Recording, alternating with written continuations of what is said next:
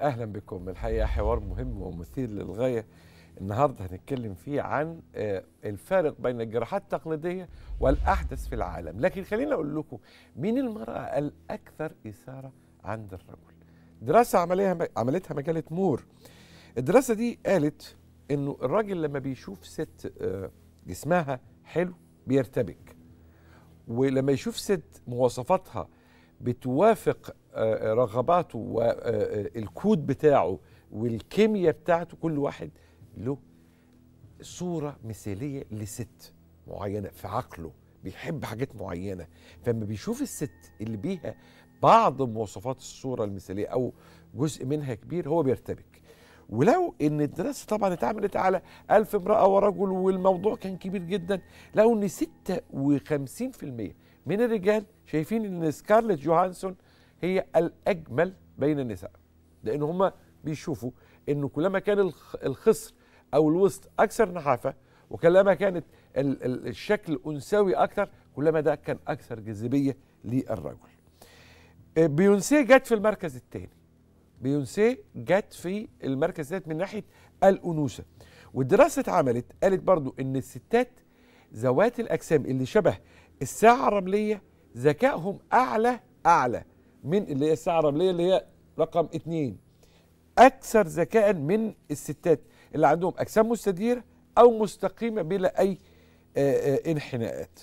طبعا خلي بالكم إنه الكلام دوت برضو رايح في اتجاه مين الست الأكثر قدرة على الإنجاب الأكثر قدرة على إنها تكون آه، يعني منجبة أو خصبة. ست عندها خصوبة عالية. طبعا في ستات كتير يتضايقوا من الكلام بتاعنا ده. ليه؟ الستات يقول لك أنتوا بتبصوا للست مظهريا ما بتبصوش لعقلها. لا والله بنبص لعقلها لأنه من المعروف جدا إن الست لو فقدت عقلها وما بقتش دماغها حلوة مش فقط بقت مجنونة يعني ما بقتش آه، مقنعة عقليا بتفقد جمالها. مهما كان بقى لا تقول لي بيونسيه ولا سكارلت جوهانسون لو هي شريرة أو مش ذكيه أو خبيثة والله لو ملكت جمال العالم شكلا في عين أي راجل على فكرة تبقى ولا حاجة. الجمال يذهب تماما تماما بقبح الروح. قبح الروح يضيع أي جمال وجمال الروح يدي الجمال للشكل حتى لو ما كانش موجود كبير. النهارده حوار مهم بقى جدا مع ضيفي العزيز الأستاذ دكتور حاتم السحار.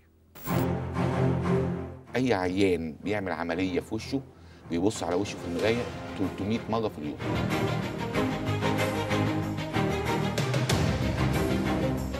عملية تصليح انف بالجراحه المفتوحة أو بالجراحة المغلقه ولا الحق للمريض إنه يعرف الفرق بين الاثنين أحسن حاجة موجودة في العالم دلوقتي هي الدهون لماذا أصبحت ترهلات الجسد بهذه الدرجة من الانتشار؟ زي كانت 50% بقت 80% 30% الزياده دول سببهم العمليات السمنة اللي اتعملت دي. الأستاذ الدكتور حاتم السحار أستاذ واستشاري جراحات التجميل بكلية الطب جامعة القاهرة زميل كلية الجراحين الملكية بإنجلترا عضو الجمعية الأمريكية للتجميل والحروق عضو الجمعية المصرية لجراحات التجميل.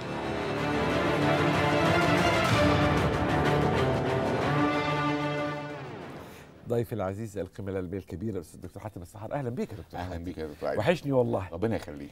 خلي بالك النهارده يعني اللقاء مختلف شوية وحوار هيبقى يعني فيه آه، نوع من السجال والحوار اللي هو عايز أفهم.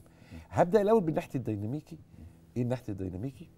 آه، إيه الفرق بينه وبين النحت الكلاسيك. آه، إيه اللي أضافه فكرة كلمة ديناميكية يعني. هل اجهزه معينة هي اللي تقدر تعمله ولا دكتور معين هو اللي يقدر يعمله؟ دي كام سؤال؟ okay. رقم واحد النحت الديناميكي هو نحت للجسم بتفاصيل معينة. يعني إيه تفاصيل معينة؟ يعني في وجود اعتبارات معينة. إيه هي الاعتبارات الطول الشكل تقسيمة العضلات. مش مجرد التوجه إلى منطقة معينة. يعني إيه؟ سيدة أو رجل عنده مشكلة في منطقة ما.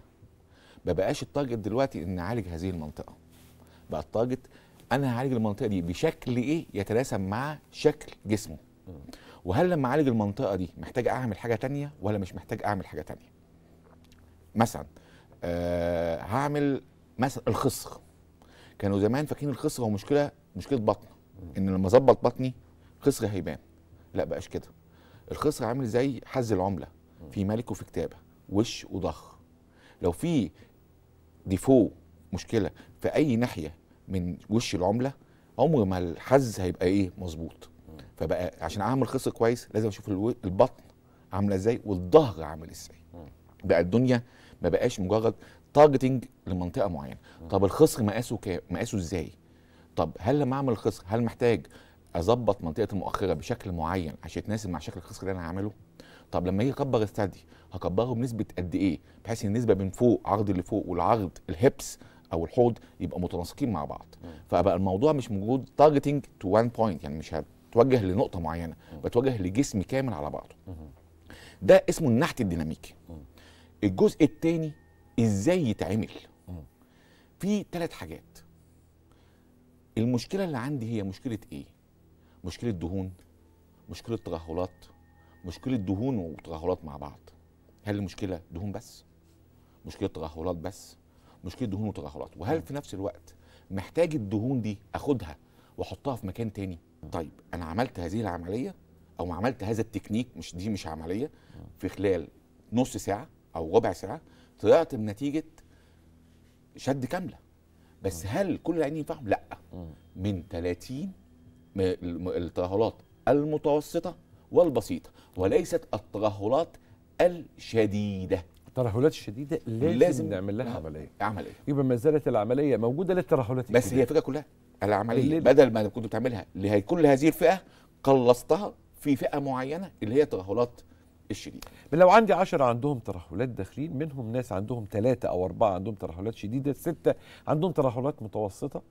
اللي عندهم ترهلات متوسطة بقوا يتعمل لهم J-Plasma الثلاثة أو أربعة اللي لسه الترهلات الشديدة ده لازم لازم يتعمل لهم يعملوا جراحة. جراحه أنا بس عشان الناس تبقى فاهمة كويس ده وظيفته إيه؟ دي ترهلات برضو تعتبر يعني أنا في أنا عاوز أنا كنت في أمريكا. شديدة. اللي ده اللي دخل الموضوع ده كان في واحد اسمه دكتور زامورا ده من يعني هو اللي ابتدى J-Plasma من أربع خمس سنين.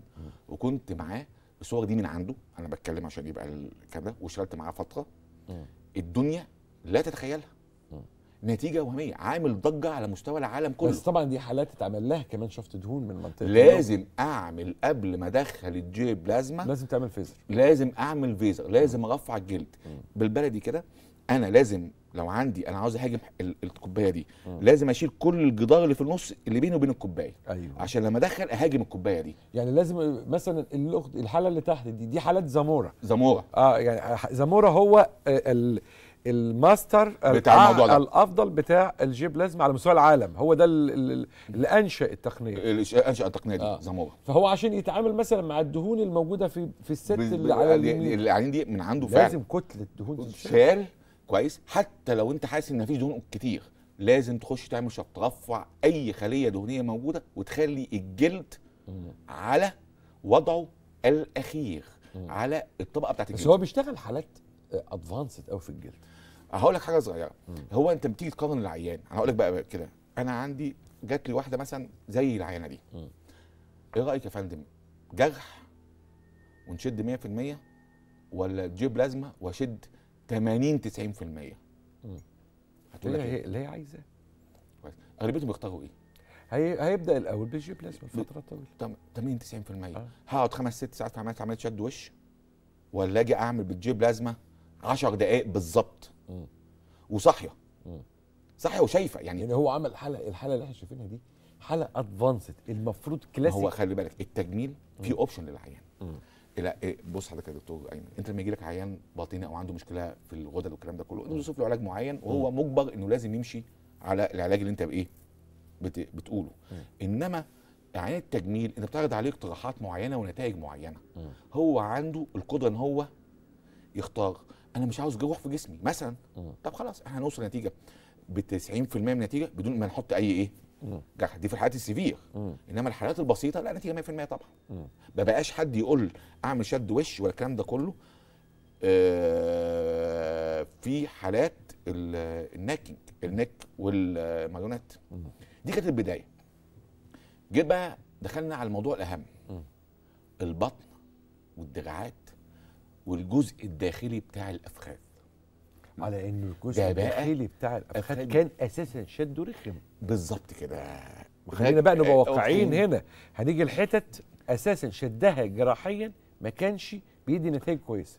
الاختراع اللي حصل بعديه انت كان مشكلتك إن J-Plasma طوله قد كده اخترعوا منه ال stand بتاعته تبقى أطول. مم. بقى في منه مقاسين مقاس صغير ومقاس إيه؟ كبير. وال intense بتاعته أعلى شوية. إن خلي بالك تخن الجلد أو سمك الجلد في أي منطقة بيختلف من منطقة لمنطقة أخرى. okay. فابتدى الآتي وهقول لك برضه القصة اخترعوها فين؟ آخر حاجة عملوها. نبتدي الدراعات هم ما كانوش في البطن. البطن عمليات شد البطن كانت جايبة نتائج وهمية وجايبة نتائج وهمية لحد دلوقتي لأن الجرح بتاعها في منطقة متدارية في في أسفل البطن في البيكيني لاين ومش ما بيسيبش علامه زي القيصرية وزي الكلام ده كله. وعندهم مشكلة في البطن اسمها العضلات. بايظة وبتاع مش عارف إيه. فهم بيشتغلوا شغل كتير شغل. كتير آه. إنما الدراعات والافخاذ مم. الدراعات جرح هنا آه بيسيبش علامة والكلام ده كله. طب ما نجرب ال- آه، ال J-Plasma ده.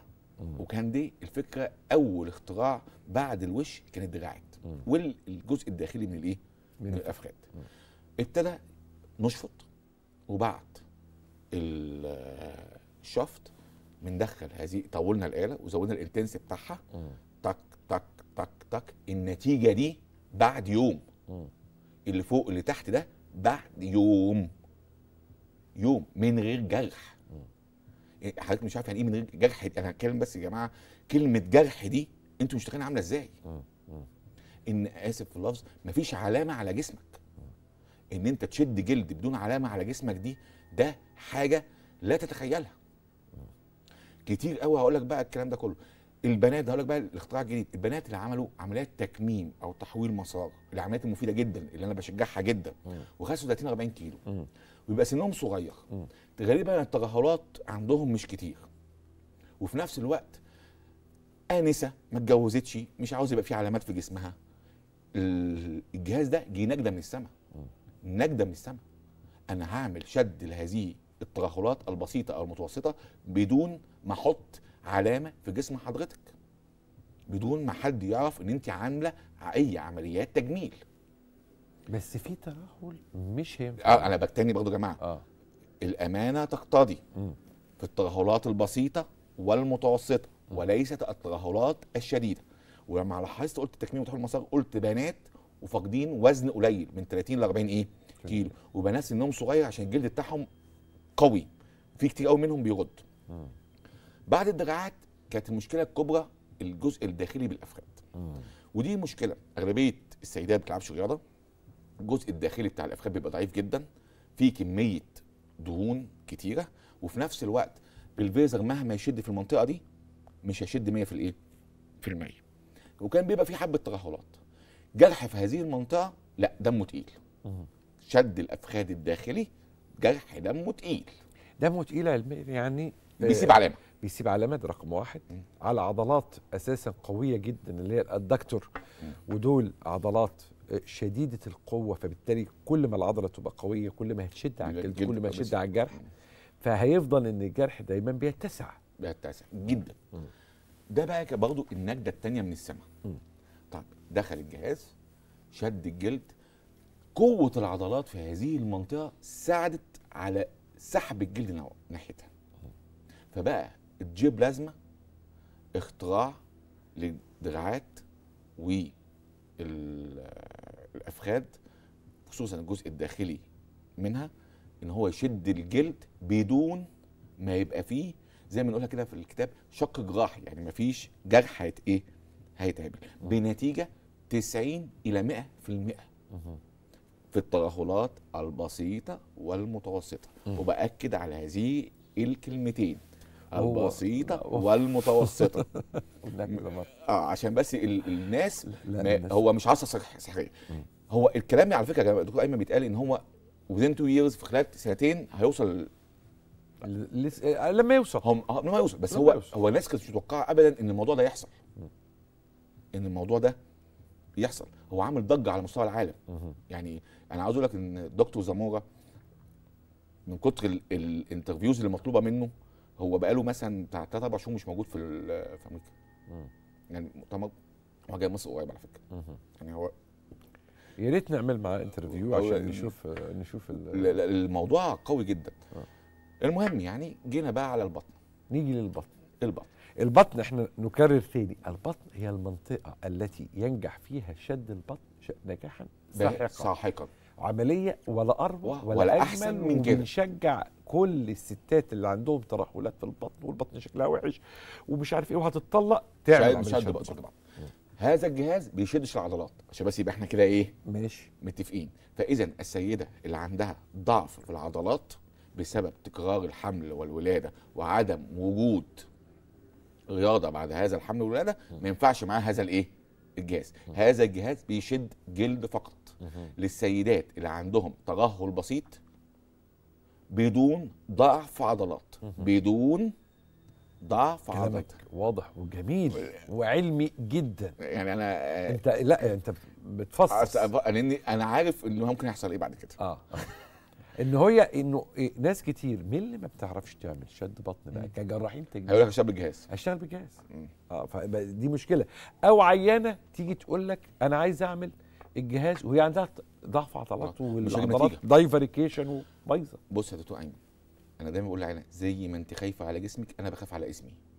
أنا ما ينفعش أطلع نتيجة 50% أو 30% لا أطلع نتيجة في 100% لا هي زي ما all or none لو لا نعمل صح لا ما نعملش إيه.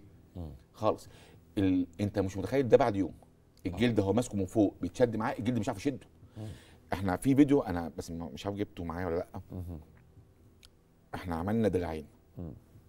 خلصنا دراع وشدينا الجلد مش عاوز يتشد اللي إحنا عملناه. الدراع التاني لسه إيه؟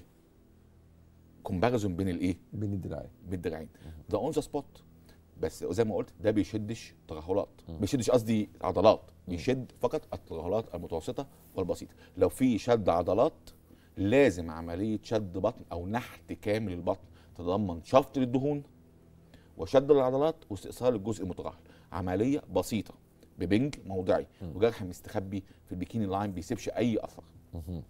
بس لو هقدر أعمل من الجرح ما فيهاش ضعف عضلات طب ما تعملها بال J-Plasma بعد الولادة برضو سؤال مهم قوي لأنه كتير من الناس تقول لك طب أنا بعد الولادة هقدر أتعامل مع ال J-Plasma أم لا؟ هذا هو السؤال القادم. في عمليات التجميل الإنسان بيدور على استعادة التناسق والتوازن لجزء من أجزاء جسمه عن طريق استعادة مقاييس الجمال المناسبة للجزء ده. جراحات التجميل بقى ليها أثر كبير جدا على نفسية المريض وحمايته من الاكتئاب المزمن بسبب تشوه خلقي ممكن يؤدي بيه إلى الانطواء والانزواء. السيدات بعد الحمل أبرز الناس اللي بيعانوا من مشاكل تغير الجسم والترهلات. تقنية ال J-Plasma بتحقق نتائج عظيمة في المجال ده دلوقتي بدون آثار جانبية أو ندبات واضحة أو تخدير كلي أو يمكن فيها كل ما تتمناه السيدات بعد الولادة لاستعادة قوامهم وجمال مظهرهم. يا ترى بعد قد إيه من الولادة ممكن تتعرض السيدات للتجميل بتقنية ال J-Plasma؟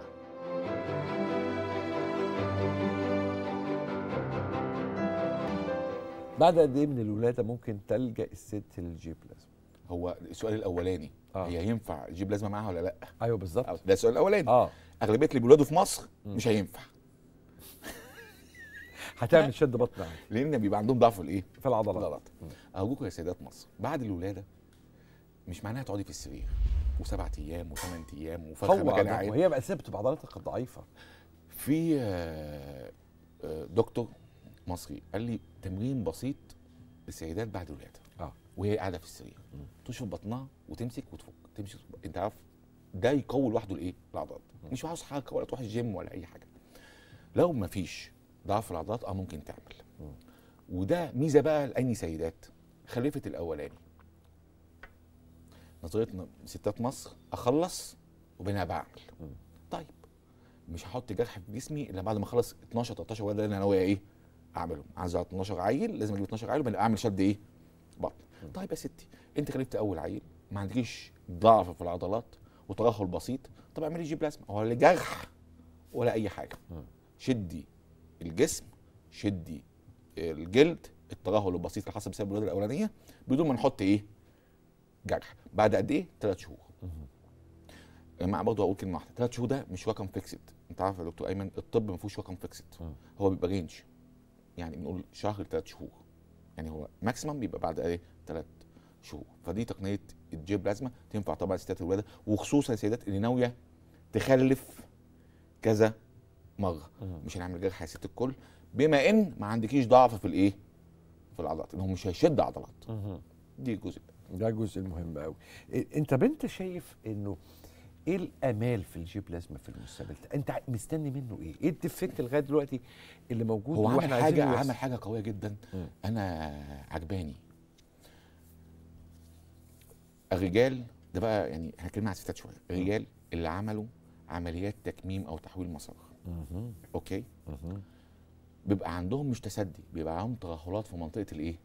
الثدي. الثدي. مش تسدي ما. بتكلمش على التسدي اللي هو سن الترهل. آه ترهل لا وخصوصا بقى لو خس 50 60 إيه؟ كيلو. مم. مشكلة الت- ال- الترهلات في منطقة الصدر عند الرجال بعد التكميم وتحويل المسار كان جرح دمه تقيل. فعلا جرح هنا. آه بيبقى لابس هدومه كويس مفيش حاجة باينة بس ينزل البحر ينزل يقعد براحته ما بيبقى فيه جرح واضح. ده حلها. حلها. وخصوصا إن برضه منطقة الصدر عند الراجل عضلاتها قوية جدا. عضلات ال bench عضلات الصدر عندها قوية جدا. ده الحاجة اللي اتعملت فعلا. وكان في حالات منها severe. وجابت نتيجة. وفي حالات severe اتعملت. الترهل نزل بنسبة 70 80% وتقلص الجرح. من مجرد جرح بالعرض كده لجرح صغير حوالين الإيه؟ الحلمة. انت مجرد تقلل جرح في ترهل تسدي في ترهل في الصدر عند رجل بعد عمليه تكميم تحويل مسار وتخليه مجرد جرح حوالين الحلمه انت مش عارف أقول لك إيه أنقذته من الغرق لأن هو كان 50% بيستريح آه عشان لابس هدومه. 50% مش عارف يقعد بره. مش عارف يقعد آه، براحته على البلاج مش عارف يقعد براحته على البسين عشان الجرح اللي باين ده حل المشكلة كلها ولسه هيشد أكتر.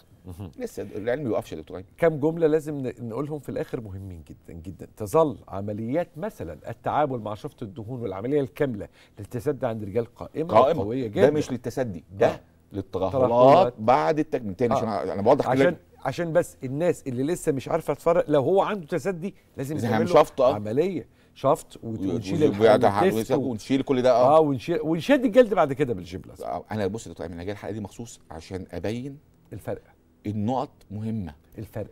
الفرق بين مين؟ ده إيه وده إيه؟ بين الست اللي تحتاج إلى شد بطن مع تع... آه، إصلاح عضلات مع عملية كاملة مع جرح وبين الست اللي تحتاج إلى إننا ندخل نعمل جيب لازم جيب لازم عشان عندها شوية ترهلات بالظبط.